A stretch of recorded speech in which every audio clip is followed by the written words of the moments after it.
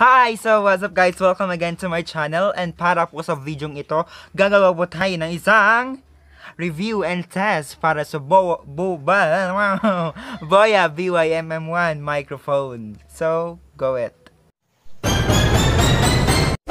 Ako ay isang model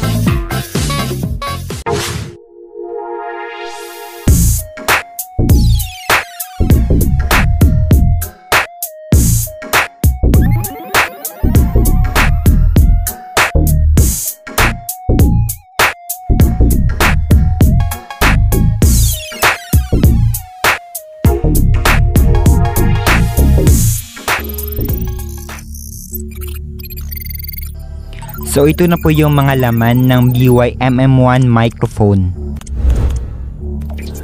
Unang-una po ano ay itong pouch na made up of a leather na lalagyan po ng mismong mic natin at ng mga cord na para sa smartphone at DSLR. Pangalawa po ano ay itong cord na para sa DSLR. So ang cord na ito ay para lang po sa camcorders or DSLR ports. Yung mga uh, camera po natin ay may mga port para po sa microphone. So ito po yung ginagamit. Hindi po siya pwede sa smartphone, sa camcorder or DSLR lang po talaga siya. Pangatlo po ano ay itong cord na para po sa smartphone. So ang nakaganda po sa product na ito sa microphone na ito ay pwede po natin siyang gamitin sa ating mga smartphone as a external mic. So ito po yung gagamitin natin na cord. So pang-apat po ano ay ito pong holder ng ating microphone na made up of plastic po siya. So very durable naman po siya kahit made up of plastic lang siya. And na-adjust po ito. So ang kasali lang po sa package ay yung uh, holder po natin ng microphone. Hindi po kasali yung cellphone holder po. So panglima po ano ay ito pong tinatawag nila na dead cat. So ito po yung nagbibigay ng pang professional na look sa ating microphone po ano. So ito po rin po ay may purpose na para hindi masyadong ma-record o mabawasan yung noise na nare-record sa ating video po ano. And last but not the least, ito pong ating uh, microphone po ano, yung mismong microphone po natin ano. So, ito po ay may masyadong may kabigatan po ano, kahit maliit lang po siya. So, ito po ay better po sa uh, mag, nagsisimula lang po maging vlogger katulad ko and very um swak po siya sa presyo and very uh, useful naman po siya and nakaka-professional na rin na, na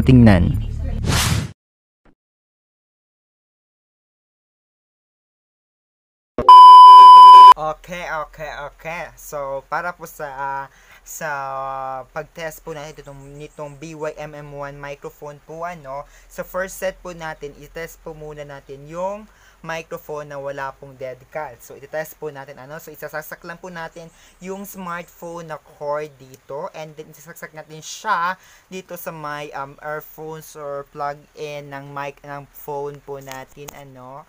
So, Okay. So, nakasaksak na po yung BYMM1 uh, microphone po ano. So, ito na po yung audio quality po ng microphone pag nakasaksak na po siya ano pag wala po siyang dead cut ito po yung audio quality source pag pure microphone lang po siya at ito po pag malapit ito po pag malapit ito po pag malayo mga 1 2 isa dalawang kamay na pagitan, 'di ba? So yan po yung uh, quality and pen tanggalan po natin para makita po natin yung pagkakaiba ng po ng audio source, audio quality po ano. So tatanggalin po natin. Wait. So yan po yung audio quality pag walang BYM-M1 microphone po ano yan lang po pag yung cellphone lang po na source ng audio quality yung gagamitin natin Diba?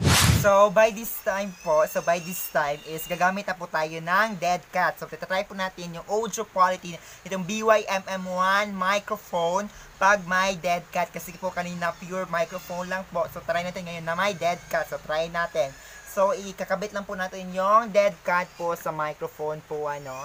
Okay, okay, okay. Tapos, isasak po, isasak po natin ulit siya dito sa may uh, saksakan ng uh, earphones ng cellphone. So, okay. Okay, so nakasaksak na po yung BYMM1 microphone BYMM1 microphone po sa phone natin at may dead cat po siya. So kanina po um, purong microphone lang po yun. So um, ito po may dead cat na po siya. So ito po yung sounds um, ng BYMM1 microphone pag may pag malapit pa, pag malapit. So, ito po pag malayo. Ito po pag malayo. So, mga dalawang kamay, mga dalawang kamay or something. So, mga dalawang kamay yun, parang kanina lang. So, yan po yung uh, audio quality ng BYMM1 pag may dead cut po, ano. So, tanggalin naman natin ulit tingnan nyo at pagkumparahin nyo yung audio quality pag meron at pag wala. Okay? So, tanggalin na po natin po yung audio quality nung uh, yung audio quality pag walang BYMM1 microphone. At umuulan po ngayon ano so I feel po na na na, na, na, na nare-record rin ng audio quality ng phone natin yung pag-ulan po ano. So yan po yung audio quality pag walang BYMM1 microphone.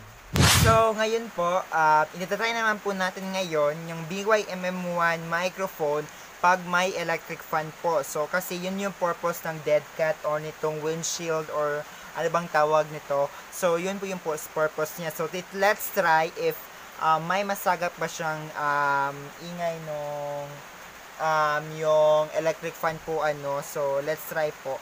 So, itkabit muna natin yung microphone. Okay.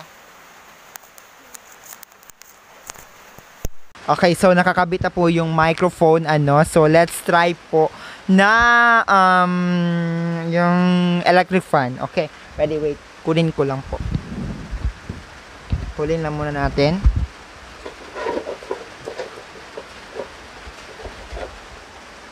Okay mabigat okay. Okay, nandito po na po ngayon yan, no, na, okay, tinapat ko na po sa microphone, tinapat ko na po sa microphone or naka, ano na po sa microphone yung electric fan. So, tingnan po ninyo if ever ba nasasagap nung mic yung yung ano ba tawag dito? Yung boses ko or yung yung sound ng electric fan po ano. So kayo na po humusga if um ano ba yung audio quality nung nung basta yung audio quality pag nito pag nasa may, may electric fan po ano. So yun po na. So tanggalin po natin yung BYMMS and i-try po anong sound pag may electric fan po ano. Okay ready Okay, ready. Wait lang. Wait lang.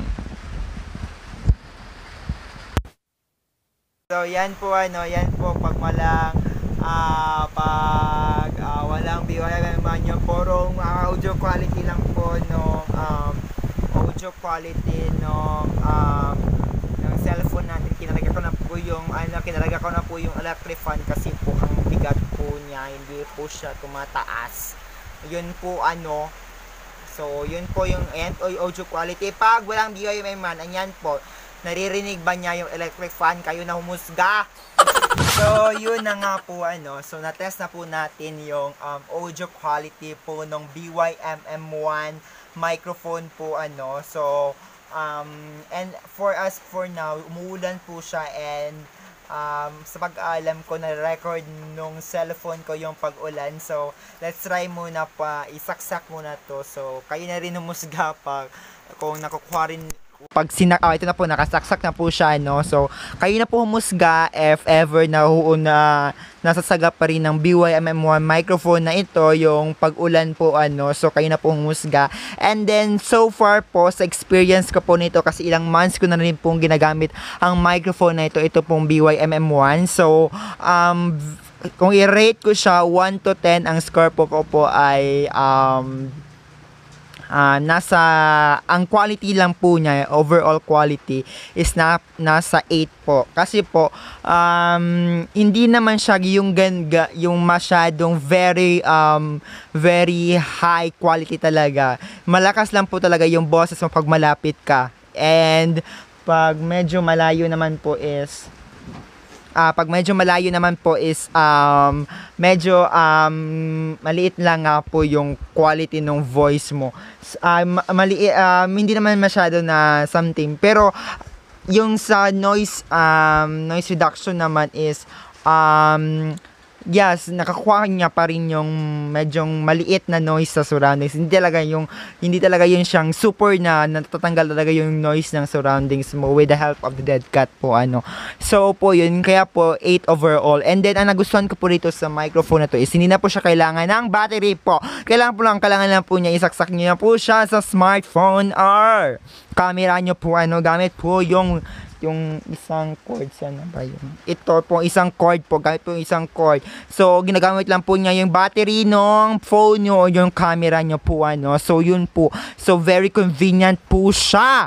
Uh, so yun po ano. So if ever gusto niyo bumili nitong product na to, available po to siya sa Shopee, sa Lazada and yun lang po yung alam ko ng papabilbihan nito. So, um, if ever gusto niyo malaman kung gusto niyo makamura, pumili po kayo sa Shopee po ano, doon po kayo bumili. And um, ililink below ko na rin po kung anong uh, sh- uh, kung anong um, sinong seller yung nabilhan ko po ano. So, i-link ko below ko ng para po kamura rin kayo ano. So, if ever nagustuhan niyo po yung video ito about sa pag-review and pag-test natin sa BYMM1 microphone po ano, don't uh, forget to um, subscribe on my channel. Ma-appreciate ko po yan. And then, don't forget po din po to click the notification bell for new updates on our video. And also, don't forget to um, give it this a massive um, thumbs up.